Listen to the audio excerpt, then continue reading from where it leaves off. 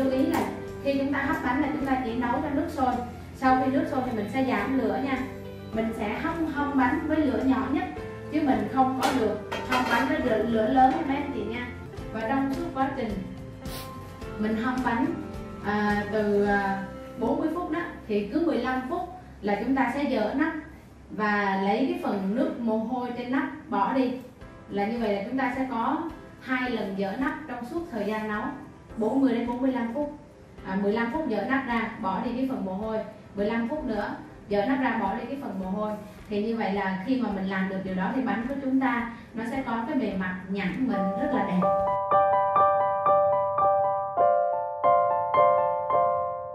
Rồi và bây giờ Nhi sẽ bắt đầu chia sẻ luôn cách làm nha. Cách làm này đảm bảo là sau khi làm xong á thì cả cái người khó tính nhất thì cũng có thích cái món này anh chị nha à, nguyên liệu chúng ta có là mình sẽ sử dụng bút đinh trứng của Đài Loan. Nguyên liệu thứ nhất. Nguyên liệu thứ hai là chúng ta cần một hộp trứng gà 10 cái. Tiếp theo là chúng ta cần một gói sữa tươi. Rồi ở đây mình có 540 à, ml nước lọc. Nước ấm ấm nha nước ấm ấm. Rồi tiếp theo là mình sẽ có 350 à, g sữa đặc. Nếu anh chị muốn ăn ngọt thì thêm nhưng mà chỉ nên làm nhẹ ngọt nhẹ thôi tại vì mình bỏ vào phần uh, sữa tươi trên rau đường đen đó nó còn ngọt nữa.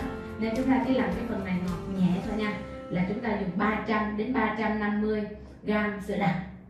Rồi bây giờ Nhi sẽ uh, bắt đầu thực hiện. Đầu tiên là Nhi sẽ dùng uh, Nhi sẽ đập trứng gà ra trước.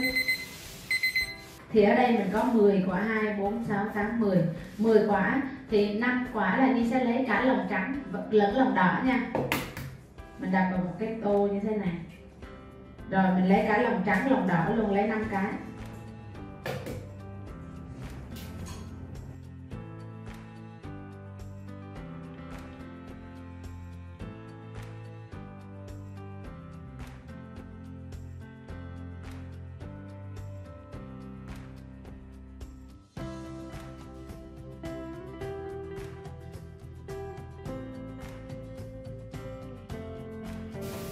Mình đã xong được phần à, lòng đỏ nha.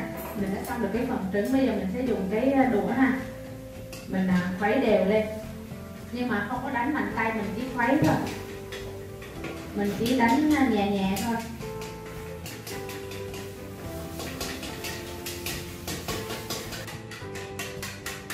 Rồi, tiếp theo là mình sẽ lấy một gói sữa tươi. Một gói sữa tươi là 220 ml nha. Mình cộng với 300 ở đây như có 350 g sữa đặc. Nếu mà ai muốn ăn ít ngọt thì mình dùng 300 g sữa đặc thôi nha.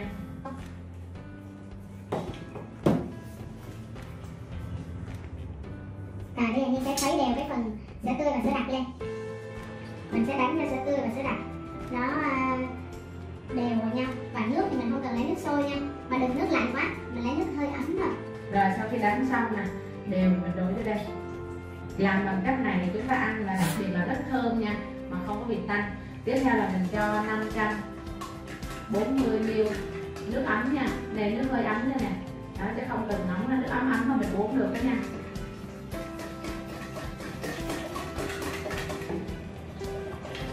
Rồi, mình đánh tan ra. Sau đó tiếp theo là mình sẽ sử dụng là 50 g bột pudding nha. Rồi chị mình chiếc quay đánh rồi mình cho vào đây luôn. Sau đó mình sẽ dùng mà sau đó mình sẽ dùng cái que này, mình đánh cho bút nó tan hẳn ra trong nước nha. Nhưng mà lưu ý là mình cũng không đánh nhiều tại vì anh chị càng đánh mà đánh nhiều á thì xíu nữa là cái bánh của mình nó càng nở ra. Mà mình cần là nó mịn nó đừng có bông quá chỉ hơi sốt thôi. Nếu như anh chị đang xem video và thấy video này là hữu ích thì hãy nhấn like và comment câu hỏi bên dưới để được giải đáp. Đừng quên đăng ký kênh youtube và nhấn chuông thông báo để được học mỗi tuần một công thức tự nhiên nha. Sau khi mà Nhi đã có được cái hỗn hợp là pudding này trứng này sữa đặc, sữa tươi và nước lọc, nước ấm, thì Nhi đã đánh xong cái hỗn hợp để nó tan với nhau hết rồi. Thì bây giờ Nhi sẽ lọc nha, dùng một cái rây để mình lọc lại cho nó nó sạch hẳn cái tạp chất đi.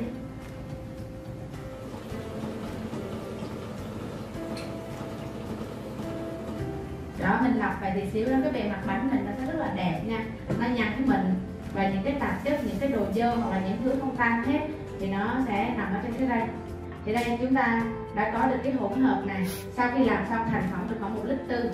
Bây giờ tiếp theo là nhi sẽ à, cho, đây là nhi sẽ dùng các cái khuôn bánh lăng để cho cái này, cái cái phần mà hỗn hợp và kem trứng này vào. Tuy nhiên là mình sẽ à, sử dụng một cái gọi là siro đường đen. Mình cho ở phía dưới để thứ nhất là cái phần siro đường đen nó thơm. Thì khi mình hong á, thì cái siro đường đen nó sẽ làm nguyên cái bánh này thơm mà khử đi cái mùi tanh của trứng. Đồng thời á là mình sẽ khi mình bỏ ở dưới thì mình rất là dễ để lấy cái phần bánh này ra. Nó sẽ không bị dính ở dưới đáy nha. À, Nhi sẽ sử dụng siro đường đen này à, siro đường đen của thương hiệu pha luôn để bỏ ở dưới cái phần bánh. Nếu như anh chị nào không dùng cái siro này mình có thể tự làm đường caramel được nha. Mình là dùng đường mình khìa cho nó cháy sáng màu cánh giá là mình có thể dùng được. Rồi và Nhi sẽ cho vào mấy cái khuôn này này mỗi thứ một ít thôi. À, nếu mình cho nhiều nó sẽ bị ngọt quá nha. Nên Nhi chỉ cho một thứ như đây thôi. Đây thì Nhi sẽ bỏ cái siro đường đen vô nha. Đó một ít thôi nha mấy anh chị nha. Đây chỉ lấy nhiều đây thôi.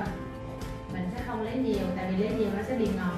Và mình cũng không cần phải làm cho nó nó trải ra khắp cái bề mặt khuôn đâu mình chỉ cần để vậy thôi rồi mình đổ cái nước này lên. Xíu nữa tự động nóng nó sẽ chảy ra nó lan khắp cái phần kém dưới cho mình. Đó. Rồi để ở đây là mình có cái muỗng mình sẽ lấy một phần tư muỗng đó nha ít thôi không lấy nhiều. Rồi Nhi đã đổ xong được cái phần khuôn rồi ha. Rồi vậy bây giờ Nhi sẽ rót cái phần bánh vô.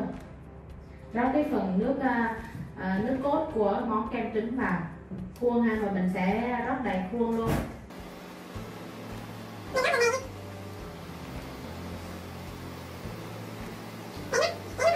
Rót hết cái nước cốt này vào khuôn chúng ta sẽ đậy nắp nha. Mình phải đậy nắp để hấp cho nó không. Và quan trọng nhất là cái món này là chúng ta phải hấp làm sao cho bánh nó chín đều mịn mà không bị rỗ bề mặt nha. Thì mới được. Thì chúng ta đầu tiên là một trong những cái điều cần nhớ là phải đậy nắp cái đã đậy nắp cho tất cả các cái khuôn bánh.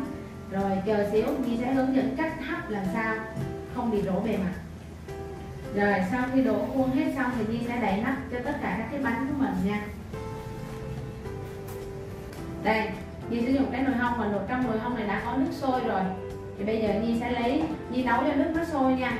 Mình phải nấu cho nước nó sôi trước mình mới bỏ bánh vô hông.